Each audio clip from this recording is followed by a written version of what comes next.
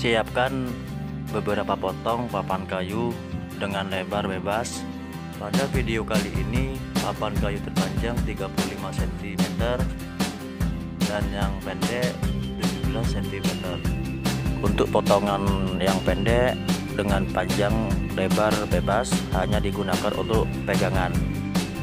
Paku dengan panjang 4 cm sebanyak 4 rekatkan menggunakan paku kedua potongan papan kayu tersebut seperti pada video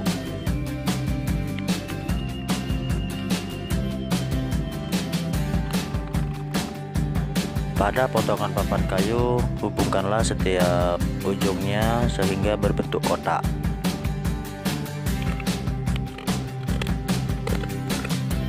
Lakukan hal serupa pada setiap ujung atau sudutnya.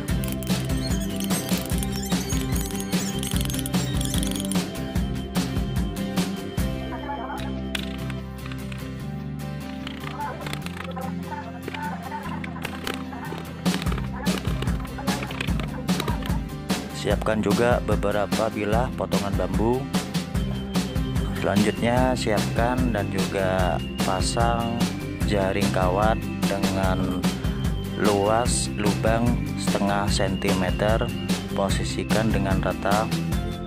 Paku bambu tersebut untuk menahan kawat jaring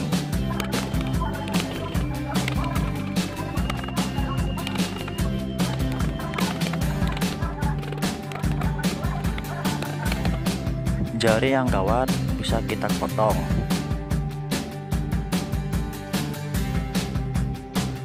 Tambahkan juga bambu untuk bagian tepi atau pinggiran.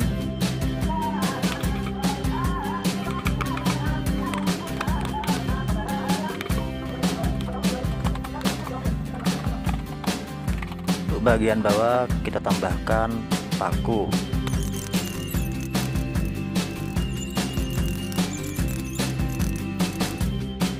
siapkan kantong kain disarankan menggunakan kain streamin. Kain streamin kuat untuk menahan beban. Selanjutnya kita pasang pada bagian bawah atau yang dekat dengan jaring. Posisikan seperti pada video dan cara pemasangannya.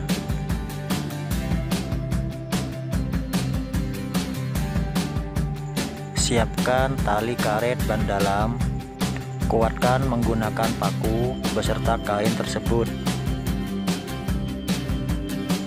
Dan pasang sekeliling kain atau keliling kotak agar kain kuat untuk menahan beban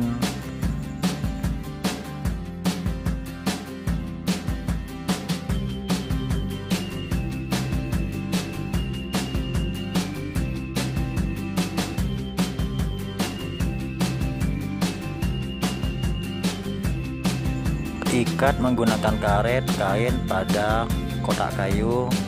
Usahakan agar kuat kencang.